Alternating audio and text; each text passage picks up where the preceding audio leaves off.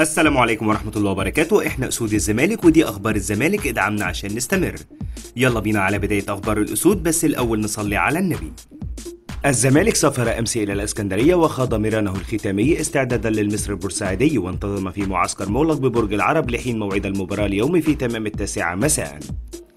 تشكيلة الزمالك المتوقعة اليوم في حراسة المرمى محمد نديم في الدفاع حازم إمام محمود علاء.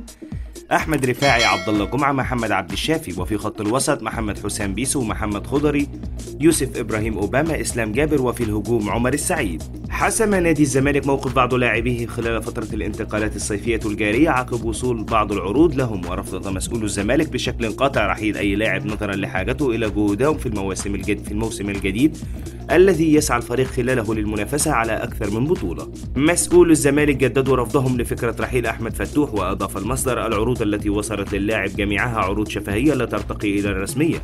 وأوضح المصدر أن الجهاز الفني للفريق بقيادة البرتغالي جوزفالدو فيريرا تمسك باستمرار فتوح مع الفريق في الموسم القادم خصوصا وأنه من العناصر الأساسية. أكد مصدر بالجهاز الفني أن فيريرا أوصى باستمرار أحمد سيد زيزو لاعب الوسط مع الزمالك في الموسم المقبل وقال المصدر أن الأنباء التي ترددت خلال الفترة الأخيرة حول إمكانية رحيل زيزو دفعت فيريرا للتحدث مع مسؤولي الزمالك والتأكيد على ضرورة استمرار زيزو وطالب فيريرا من مسؤولي الزمالك بالحفاظ على زيزو خاصة وأنه من العناصر المهمة بالزمالك. تواجد المغربي زكريا الوردي والسنغالي إبراهيم نضاي في مقر نادي الزمالك ظهر, أمس الخميس لإتمام إجراءات انتقالهما للزمالك بداية من الموسم القادم لتدعيم صفوف الفريق ومن المقرر أن ينتظم اللاعبان في تدريبات الزمالك خلال الأيام المقبلة استعدادا للمشاركة مع الزمالك في المباريات بعد الانتهاء من إجراءات قيدهما في قائمة الموسم الجديد. مصدر بالزمالك الإدارة رفضت رفضت تطبيق اللائحة على المدافع الشاب وتغريمه ماديا وأكدت أنه لم يقصد كما أنه يقدم مستوى مميز وشارك بشكل كبير في تتويج الفريق بالدوري. قررت لجنة الحكام إسناد مهمة مباراة الزمالك اليوم لطاقم حكام من وليد عبد الرازق حكم ساحة يعاونه كل من أحمد التلاوي وأحمد ناظر وعلي سعيد حكم رابع. وأحمد صالح حكم فيديو ويعاونه محمود بسيوني. تطورات شكوى فيريرا. مصدر بالسفارة البرتغالية في القاهرة. أي شكوى يقدمها شخص برتغالي بداعي نشر الشائعات حوله, حوله تتحول إلى الشؤون القانونية لدينا. وأضاف الشؤون القانونية غالبا ما تحول تلك الشكوى إلى الجهات المختصة في مصر. الأمر الذي قد يقود السفارة للتقدم ببلاغ للنائب العام ضد محمد شبانة وختم حديثه قائلا تتم متابعة الشكوى بالتنسيق مع نادي الزمالك والشؤون القانونية في النادي. على أن يتم الإعلام بشكل رسمي حال وجود تطور جديد أو تحرك قانوني جديد. حرص فيريرا على توجيه رسالة خاصة للاعبين الشباب المتواجدين بقائمة الزمالك لخوض المباراة المصري. وشدد فيريرا في حديثه مع لاعبي الزمالك الشباب على ضرورة استغلال الفرصة التي سيحصلون عليها أسوة بزملائهم الذين حصلوا على الفرصة من قبل وأوضح فيريرا للاعبين الشباب أنه يثق في قدراتهم جيدا وطالبهم بالتمسك بالفرصة وإثبات ذاتهم مع الزمالك في الفترة القادمة. مرتضى منصور أشكر كل رؤساء الأندية في مصر والعالم العربي بلا استثناء الذين قدموا لي التهنئة بتتويج الزمالك ببطولة الدوري وشكر خاص لمحمد مصلحي رئيس الاتحاد السكندري بسبب تنظيم ممر شرفي لنا قبل المباراة وتقديم الورود لنا. مرتضى منصور الحكم الدولي إبراهيم نور الدين حاول حاول بقدر المستطاع إفساد فرحة جماهير الزمالك في مباراة الاتحاد ولكن لم يستطيع. مرتضى منصور مع احترامي للأهلي وبطولاته الدوري المصري بدأ عام 1948 ولكن البطولة الحقيقية بدأت بعد دخول تقنية الفيديو عام 2020 الفار حقق العدالة.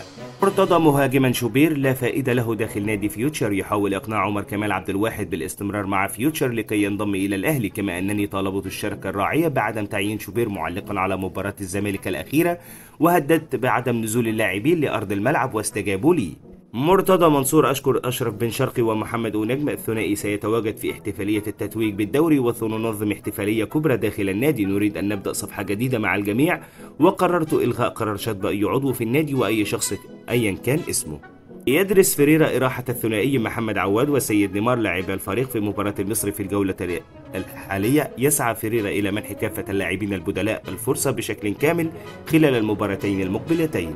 استقر البرتغالي جوزفالدو فيريرا المدير الفني للفريق الأول لكرة القدم بنادي الزمالك على الاعتماد على فريق الأمل خلال مواجهة إيسترن كامباني في الجولة الأخيرة من عمر مسابقة الدوري المصري الممتاز.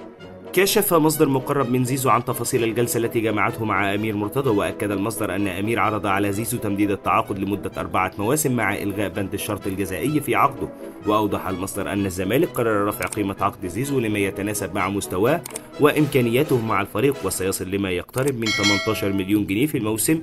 وشدد المصدر على أن الزمالك سيضع امتيازات في عقد زيزو وعلى رأسها مكافأة خاصة حال الفوز ببطولة الدوري وبطولة دوري أبطال إفريقيا إلى جانب مكافأة خاصة حال الحصول على لقب هداف بطولة الدوري. ويتمسك مسؤول الزمالك باستمرار زيزو في الموسم القادم وغلق الباب بشكل نهائي على رحيله عن الفريق لما يمثله من قوة ضاربة على كافة المستويات بجانب طلب فيريرا باستمرار أحمد سيد زيزو في الموسم القادم. وعدم رحيله. حصلت قناة الكأس القطرية على حقوق نقل مباراة الزمالك والهلال السعودي والمقرر إقامتها يوم التاسع من سبتمبر في كأس سوبر لوسيل. ومن المنتظر أن يعلق على المباراة المعلق أحمد الطيب والذي يتولى مهمة التعليق على أغلب المباريات في قناة الكأس القطرية. أعلن الاتحاد الدولي لكرة القدم فيفا أمس الخميس 25 8 2022 التصنيف الشهري لمنتخبات العالم والذي شهد حفاظ منتخب مصر الأول على مكانه في آخر تصنيف بالتواجد في المركز الأربعين عالميا والسادس على مستوى إفريقيا. كشف مصدر مقرب من كارلوس كيروش عن مفاجأة في وجهة المدرب خلال الموسم القادم وأكد المصدر أن نادي المصري البورسعيدي يتفاوض بقوة مع كارلوس كيروش لتولي تدريب الفريق بداية من الموسم القادم مشيرا إلى أن ما تردد عن تفاوض الأهلي مع المدرب غير صحيح من الأساس وشدد المصدر على أن كامل أبو علي رئيس نادي المصري البورسعيدي أرسل تذاكر السفر إلى كيروش في الأيام الماضية ووجه له الدعوة بالحضور إلى الغردقة وقضاء أجازة هناك على أن يتم التفاوض بين الطرفين على كل الأمور المالية.